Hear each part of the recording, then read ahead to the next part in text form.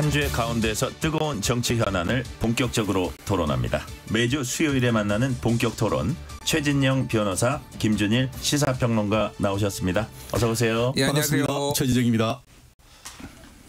윤석열 대통령과 민주당 이재명 대표의 영수회담이 이제 추진되고 있습니다. 이번 영수회담의 의미 뭐라고 보세요? 총선 민의의 반영 뭐 이렇게 보는 것이 맞지 않겠습니까? 총선이 어 국민의힘 나아가 정부 여당이 압도적으로 승리했다고 하면은 사실 보기 어려운 그런 장면 아니겠습니까? 결국 민심이 천심이고 민심이 배를 띄우기도 하지만 배를 뒤집기도 한다라는 그런 어, 평범한 진리를 보여주는 것 같습니다. 사실 보수 우파 측에서도 이재명 대표의 사법 리스크와 별개로 정치는 어, 서로 협치를 해야 되지 않느냐 하는 그런 얘기가 많았고 아마 이런 부분에 있어 가지고는 또 윤석열 대통령께서 총선에 나타난 민심을 겸허히 받아들이겠다라고 했는 첫 번째 어떻게 보면은 제스처 내지는 정책 전환이 바로 이번 그 이재명 민주당 대표와의 회담인 것이고 그렇기 때문에 어 어떤 회담을 하려고 한다고 하면은 양측의 서로 분위기 조성이 좀 필요한 것 같습니다.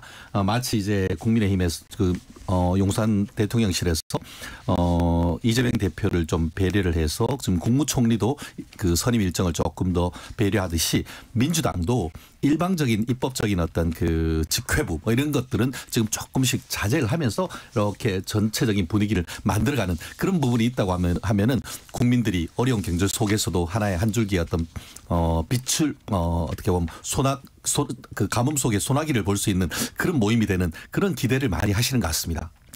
제가 최진영 변호사님을 좋아하는 이유는 항상 이 교과서적인 말씀을 잘해 주셔서 정답을 말씀해 주셨는데 제가 보기에는 맞는 얘기인데 이제 거기에 숨겨진 이면은 대통령과 이제 용산에서 심각한 위기를 느꼈다 이렇게 보는 게 음. 맞을 것 같아요. 왜냐하면 지난주에 나왔던 그 각종 여론조사를 보면은 제가 수치는 뭐 정확하게 안 말씀드리겠지만 MBS 전국 지표조사라든지 갤럽 조사라든지 대통령 국정 수행 지지율이 다 20%대로 정권 들어서 최하로 다 떨어졌거든요. 특히 보수층이 많이 빠졌어요. 네. 뭐 왜냐하면 뭐 진보 중도는 이미 많이 빠져 있으니까 더 하락 여력도 없고 보수에서 60대 70대가 많이 빠졌습니다.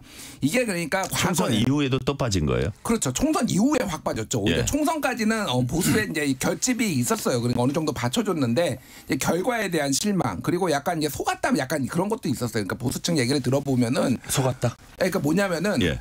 아니 선거 결과가 이 정도로 나올지 몰랐다라는 음. 거예요. 그러니까 실망감과 약간 뭐 어떻게 했길래 뭐 이런 거냐. 뭐 어쨌든 지금까지 뭐 했냐? 뭐 했냐. 그리고 뭐 이를테면 뭐 일부에서는 뭐 이제 100 뭐 130석 뭐 150석 뭐 과반 얘기까지 한 것에 대해서 좀 많이 실망한 뭐 기류가 역력했습니다. 어쨌든 그러다 보니까 이거는 대통령 그 박근혜 대통령 탄핵 직전에 이런 현상이 벌어졌거든요. 그러니까 10월 달에 2016년 10월 달에 갤럽 기준으로 처음으로 20%대로 빠졌고요. 그다음에 회복 이 안 됐어요.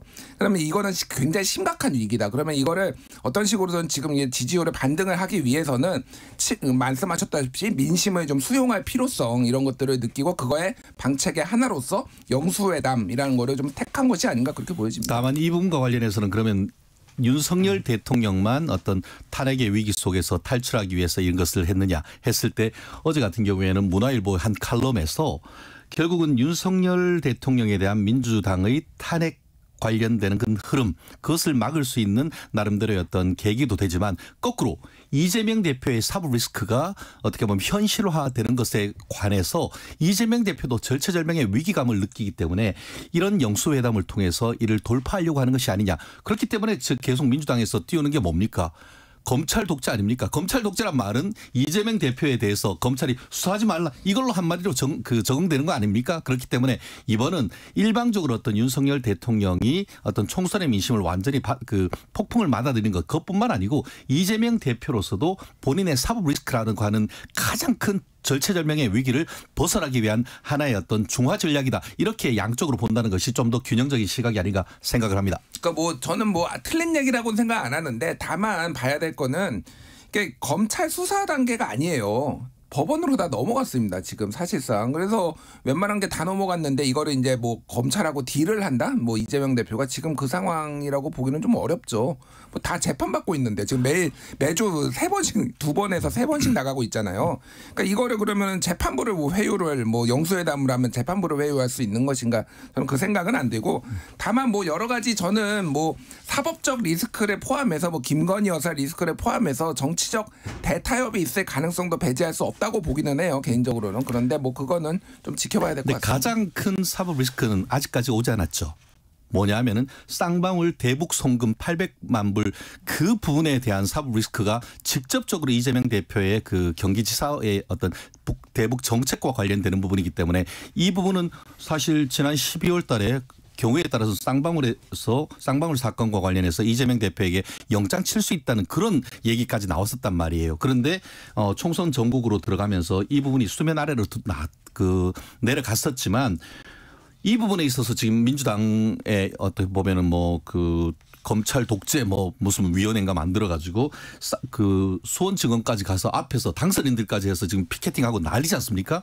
그런 것은 그만큼 그 사안이 이재명 대표의 어떤 정치적 위상과 직결된다는 것을 간접적으로 반증하는 것이죠. 최근에 좀 해프닝이 있었는데 이재명 대표가 당원들 메시지 읽다가 윤석열 탄핵 이렇게 그, 그- 그거 자기 입에다 올렸나 봐요. 네네네. 그래가지고 이제 놀라가지고 입을 막는. 그러니까 그런 걸 보면 어쨌든 그 영수회담이라든지 이런 정치 상황에서 또 대통령도 이제 만나게 돼 있고 이런 본인도 되게 신중한 그런 생각들 하고 있는 것 같아요. 뭐 어떤 전투적이라든가 싸운다든가 이거보다는. 일단 그거를 보고 제 느낌은 발령기다. 굉장히 어색했다. 뭐 이 생각을 했어요. 그러니까 이거는 의도된 약간 그런 걸로 저는 읽혔습니다. 그래서 그러니까 뭐 쉽게 얘기하면은 영수회담 왔는데 탄핵 얘기를 할 수는 없잖아요. 그거를 좀 간접적으로 지지자들의 이런 열망은 알겠지만은 그건 아니다라는 거를 조금 이제 간접적으로 좀 유머러스하게 하려는 것 같은데 연기력을 좀 더 키우시면 좋겠다고 이 생각을 연, 연기가 아직 예, 무르익지 않았어요. 않았습니다. 네, 예. 결국은 속내가 일정 부분 드러났다라고도 볼 수 있죠. 물론 총선 과정에서 구체적으로 탄핵이란 말씀을 어, 이재명 대표께서 직접 올리진 않았습니다. 대, 대신에 이제 어, 임금 그 민주당 내에 있는 인사들이 탄핵 얘기 굉장히 많이 했던 건 사실이죠. 그런데 어제 같은 경우에는 당원들이 내왔는 것을 읽는 과정에서 탄핵이란 얘기가 나오니까 셀피 입틀 막 헉! 뭐 이렇게 얘기를 했는데 제가 봤을 때는 속내가 들켰다 이렇게 있는 것 같은데 어쨌든 간에 어, 속엔 그렇다 한다 하더라도 지금 그 여야 영수회담을 앞두고는 스스로 자제하는 모습을 보였다는 그런 취지에서는 저도 공감을 합니다. 자, 이제 대통령 비서실장은 발표를 했어요 이미. 자, 그다음에 이제 총리가 남아 있습니다.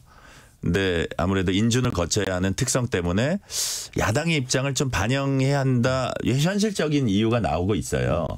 근데 이제 아까 잠깐 여기 스튜디오에 다녀간 최재선 전 정무수석은 그래도 윤 대통령은 자신의 스타일대로 할 거다. 뭐 사실상 야당의 뭐를 들어가지고 할 것 같지는 않다.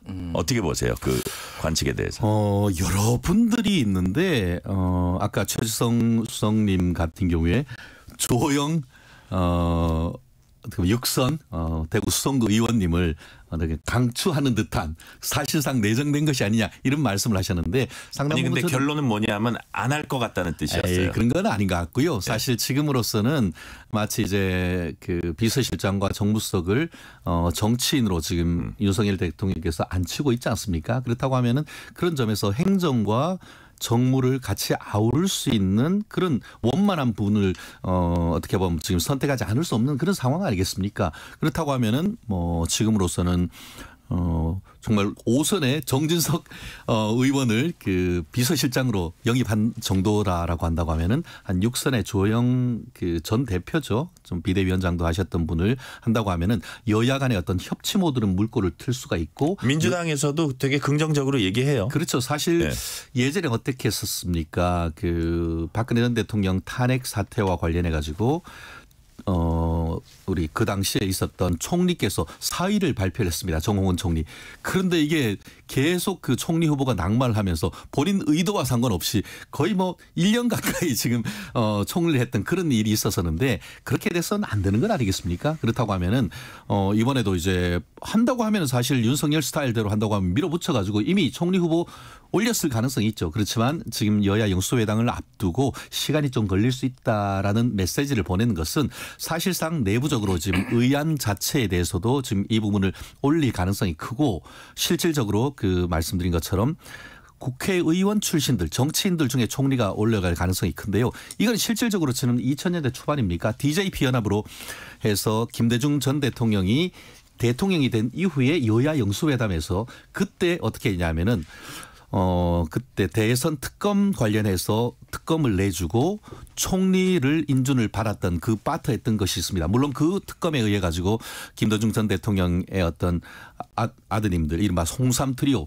형사 처벌 받았던 그런 전례가 있었는데 뭐 이번 특검과 어떤 그 서로의 어떤 조율이 있을지 모르겠습니다만 분명히 이 총리와 관련돼 가지고는 나름대로 성과가 있을 가능성이 높다고 예측합니다. 음. 그러니까 저는 두 가지 포인트를 봐야 될 것 같은데 첫 번째는 에, 총리 인준이 첫 번째 카드는 안 될 것 같다. 소위 말해서 첫 번째 카드는 이제 버리는 카드다. 실제 실제 카드는 두 번째 아니면 세 번째 있을 가능성이 상당히 높을 것 같아요. 왜 지금- 그러냐면은 지금 얘기도 조금 떠도는 게 있습니다. 아, 예, 예. 그러니까 왜 그러냐면은 이게 이제 여야 협치 모드가 정말로 잘 될 것인가에 예. 대해서 의구심을 가지고 있어요. 뭐 영수회담도 이제 앞두고 있지만은 여러 현안들을 대통령과 이재명 대표가 합의를 볼 가능성이 저는 거의 없다고 보거든요. 아주 소수의 것만 합의를 뭐 이제 보, 보거나 그래서 이거는 긴장 관계는 계속 될 것이고 민주당에서도 실력 행사를 좀 하지 않을까. 그래서 이제 버리는 카드는 누가 될 것이고 이제 실제 되는 거는 누가 될 것인가 이거를 좀 봐야 될 것 같습니다. 그래서 뭐 버리는 카드로 박영선 전 장관이 나올 가능성도 있다 뭐 이런 얘기까지 지금 왜냐하면 그게 민주당 인사를 했는데 민주당에서 비준을 안 해줬다, 인준을 안 해줬다. 이거는 이제 뭔가 이제 이, 이 대통령으로서도 뭐 할 말이 생기는 거잖아요. 그렇죠. 그러니까 뭐 그런 이제 관측기에 나오는 게 하나가 있고 대통령이 정말로 실세 총리를 원하시나? 저는 그렇게 보지 않아요. 그러니까 한덕수 총리도 그렇고 뭐 조금 이제 조금 그 관리형 이라고 좋게 얘기하고 이제 식물 총리라고 이제 읽죠 보통은 그래서 실세 총리를 원하지 않을 것 같은데 주호영 비대위인가 주호영 의원 같은 경우에는 이분은 본인의 스타일이 있는 분이에요 그리고 네. 야당에서 이렇게 추천을 하면은 저는 주호영 의원은 상당히 어렵지 않나 실세가 될 가능성도 있고 이분은 그냥 뭐 대통령이 하란 대로 하실 분이 아니잖아요. 그러니까 저는 여러모로 그런 분들은 조금 어려 어려울 것 같다. 결과적으로 보면은 결국은 무색무취. 예, 뭐 그런 분들이 좀 마지막에 올라갈 것 예컨대 같아요. 좀 예상을 해본다면 김병준이라든지 예를 들면은 뭐 뭐 여러 가지 뭐 카드가 있는데 옛날에 모르겠습니다. 민주당 쪽에서 한번 너 했었지 않습니까 김병준 뭐, 카드는. 뭐가 됐든 하여가 뭔가 민주당이 약간 묻어 있는 약간 그런 분들 중에서 뭔가 무색무취한 분들로 그게 뭐 한덕수 총리도 약간 그런 스타일이잖아요. 그래서 실세 총리를 원할 것 같지는 않아요. 어쨌든 대통령은 본인의 어떤 국정 그립감을 놓으실 분이 아니다. 예컨대 네. 일각에서 얘기하는 김한길 위원장 은 음. 어떻게 보세요? 그 가능성. 글쎄요. 그러니까 이게 첫 번째 카드냐 두 번째 카드냐. 첫 번째 카드면 무조건 부결이고요. 두 번째면은 어, 가능성이 없지는 않다. 저는 1차, 개인적으로. 2차까지 아, 봐야 된다. 아, 그런 예. 말씀이시고요. 네. 자, 그러면 이번에 국회의장 얘기 좀 해볼게요. 지금 보니까 어, 추미애, 조정식, 정성호. 거기다가 이제 어제 보니까 의원식 의원도 좀 검토 중이라는 뜻을 이제 시사를 했고요. 근데 이런 거 처음 본 것 같은데 여- 여하튼 국회의장 선명성 경쟁이 지금 벌어지고 있습니다. 아 저는 이 부분은 어떻게 보세요? 와 저는 그 의전서 구- 대한민국 의전 서열 2위인 국회의장 위에 이재명 민주당 대표가 있다는 그런 느낌이 너무 강해가지고 와이 지금 민주당이 정말 이재명의 민주당이 맞구나 하는 생각을 어떻게 보면은 안 할 수가 없었던 것 같은데요. 사실 국회의장 같은 경우에는 어떻게 보면은 탈당해서 중립적 위치에서 어떻게 보면은 여야를 아우를 수 있는 그런 상징적인 자리인 것이고 현실적으로 우리 관행상 국회의장 한번 하고 나면은 정계 은퇴하는 것 아니겠습니까?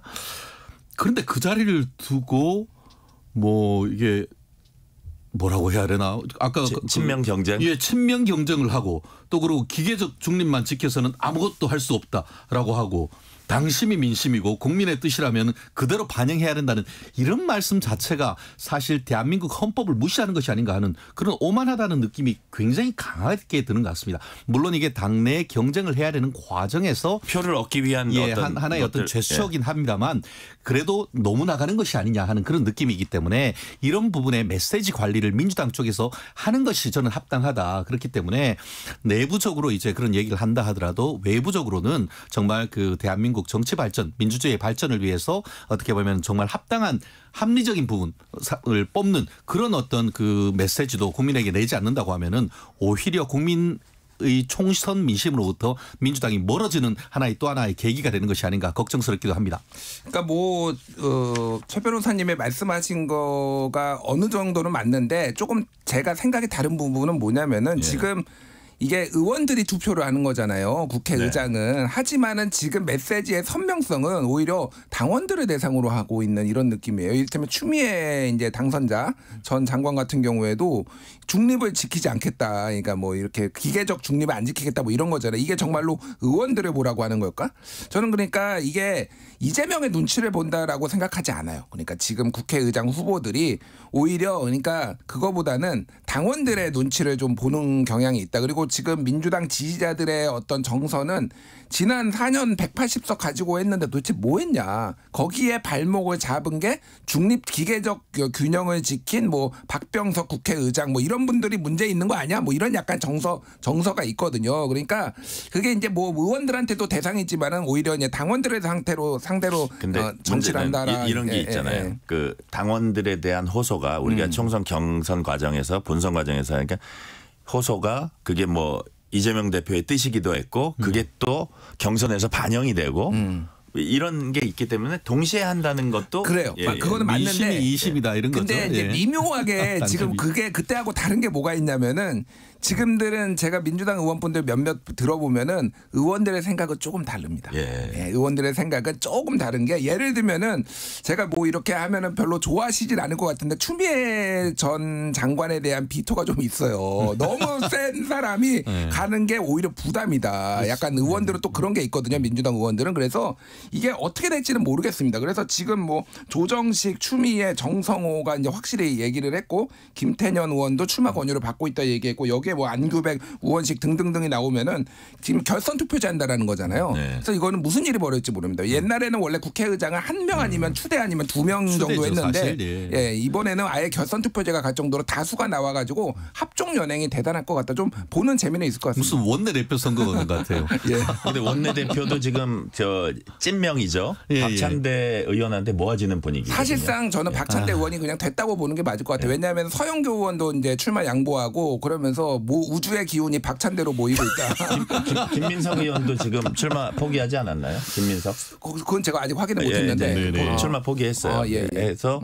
지금 거의 모아 우주의 기운이 모아지고 있고 그래서 여하튼 뭐 너무 다양한 목소리가 좀 사라지는 거 아니야 이런 우려도 또 또 나오고 있어요. 어, 맞습니다. 그 예, 좀 이전에 그거는 있었던. 민주당이 좀 고민을 해봐야 될 부분인 것 같아요. 예. 자 윤석열 대통령의 오찬 제안을 한동훈 전 비상대책위원장이 건강상 이유로 거절했다. 이건 어떻게 된 일인가요? 오늘 조선일보를 봤더니만 윤석열 대통령의 오찬 요청은 발 어떻게 보면 반려죠 거부하고 대신에 비대위원장과 비대위원들과 어 식사 자리를 했다라고 하면서 묘한 대비하는 기사가 나온 걸 봤는데요. 어 이와 관련해 가지고 지금 민, 그 국민의힘의 중진이죠 권영세 의원 같은 경우에는 어떤 형식이건 간에 이것을 그 용산 대통령실의 요청을 좀 거부한 것은 어좀. 문제가 아니냐 하는 그 말씀에는 자리에서 어저께 말씀하셨습니다. 예, 그 말씀에는 어, 솔직히 저도 공감을 합니다. 네. 어, 다만 이제 그 지금 얘기를 들어보면은 그 절차가 조금 문제가 있었던 거라는 비판은 있지 않습니까?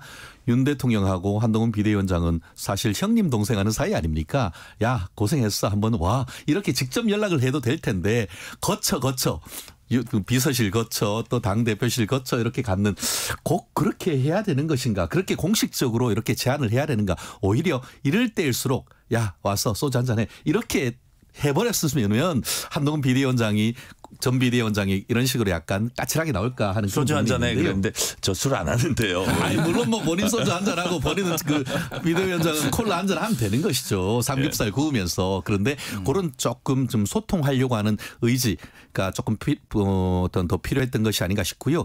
어 그런데 어제 그 얘기를 들어보면은 실제로 한동훈 비대, 전 비대위원장의 건강 상태가 상당히 좀 좋지 않은 건 사실이라고 합니다. 그렇기 때문에 어 실제로 좀 더 체력을 회복하고 해서 조금 더 어떻게 보면은 좀 올바른 어 정신적으로나 어떤 육체적으로 회복한 상태에서는 아마 조만간 또 한번 또 어, 오찬 회동이 어, 오찬이 아니고 저는 저녁 회동하는 것이 맞다고 봅니다. 그래서 좀 오랜 시간 부부 모셔가지고 같이 하고 나중에는 이제 비대위원들 다 모아가지고 용산에서 크게 한번 좀 위로하는 어떤 그 시간을 가지면은 어, 약간의 어떤 앙금이 풀리지 않을까 저는 그렇게 생각합니다. 홍준표 시장하고 한 4시간 이상 한 것 같아요. 그렇죠. 예. 예, 그 말씀이에요. 그러니까 예. 요거는 타임라인을 좀 정확하게 할 필요가 있는데 그 한동훈 전 비대위원장이 비대위원 전 비대위원들을 만난 날이 16일이에요. 네네. 그날이 대통령이 홍준표 시장도 만난 날입니다. 그러니까 저녁 자리를 이제 홍준 아니 저기 한동훈 위원장은 했고 그거보다 좀 이른 시간에 이제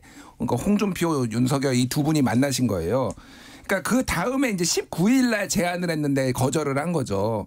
그러니까 저는 이제 이게 희망 섞인 이제 나중에 한번 식사를 하실 수도 있겠다 이런 게 했는데 앞으로 밥 먹 두 분이 밥 먹을 일은 없겠다. 한동훈 윤석열 두 분이 밥 먹을 부르지도 일은 않겠다. 부르지도 않을 거예요 이제는. 네.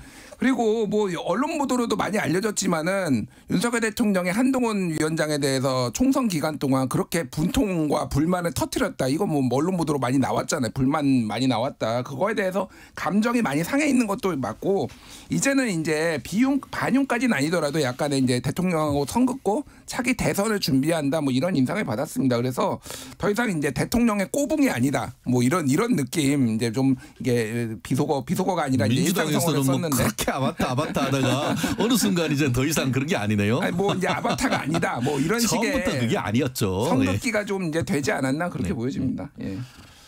아, 그렇군요. 자, 근데 이 와중에 어쨌든 홍준표 시장은 계속 또 공격을 했어요. 그 한전 위원장을.